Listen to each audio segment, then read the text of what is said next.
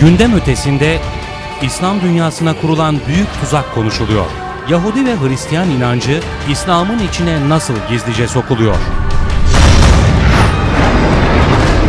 Mesih, Mehdi, Deccal kavramları üzerine hangi oyunlar oynanıyor?